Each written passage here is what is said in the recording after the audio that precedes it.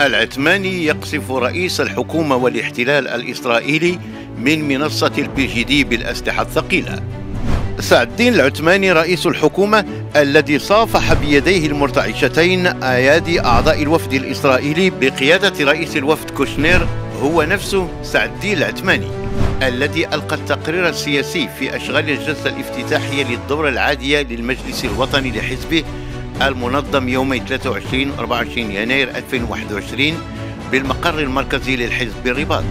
لكن هذه المرة بقبعة الأمين العام لحزب ال PJD وبيد تلوح وتهدد العدوان الصهيوني. وهو ما يجعل العثماني في حالة تناف ووضع شاذ. يشعر فيه من شاهد العثماني منكسر الرأس ومنحني الهامة أثناء توقيعه على اتفاقات الصداقة والتعاون مع ممثلي دولة إسرائيل. أمام أعضاء المجلس الوطني لل PJD هاجم سعد الدين العثماني رئيس الحكومة منددا الاحتلال الإسرائيلي.